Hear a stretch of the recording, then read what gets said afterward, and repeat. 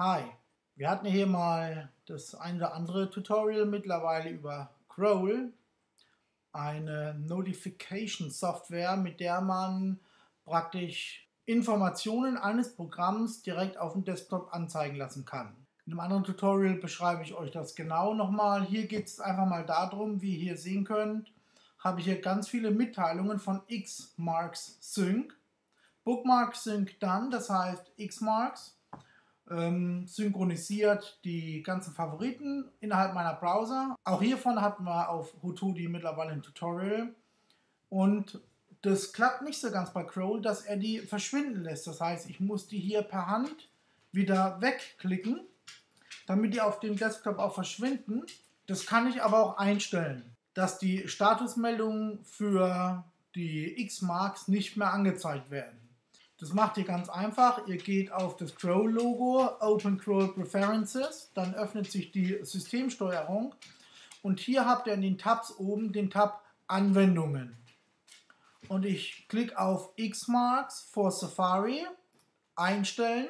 Ich kann ihm sagen, wo die Notification stattfinden soll. Also oben in der Ecke, unten in der Ecke, unten links, oben links, wie auch immer. Und wie ich das angezeigt bekommen möchte. Aber in meinem Fall möchte ich diese X-Marks gar nicht angezeigt bekommen. Das heißt, ich klicke hier auf den Active-Haken, also ich nehme den Active-Haken weg, schließe das Ganze wieder und es ist abgespeichert. Wenn jetzt Xmarks Sync vornimmt, ich mache das jetzt einfach mal per Hand, Synchronize Now, würde jetzt ja eine Crawl Notification kommen, oben rechts in der Ecke und die ist jetzt nicht mehr da. Das Problem ist zwar nicht gelöst, aber das ist ein Bug in Crawl, das müssen die Entwickler fixen. Das ist eine Lösung, ähm, die man gehen kann, um einfach diese ganzen Notifications nicht mehr auf dem Desktop zu haben.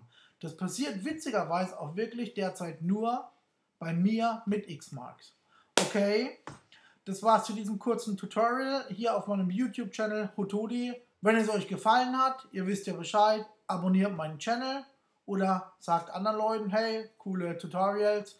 Wenn ihr mal ein Problem habt am Computer, wo ihr nicht weiter wisst, vorzugsweise Mac OS X oder so, schreibt mich einfach mal an. Vielleicht kriege ich es hin und kann euch ein Tutorial dafür machen. Bis zum nächsten Mal. Ciao.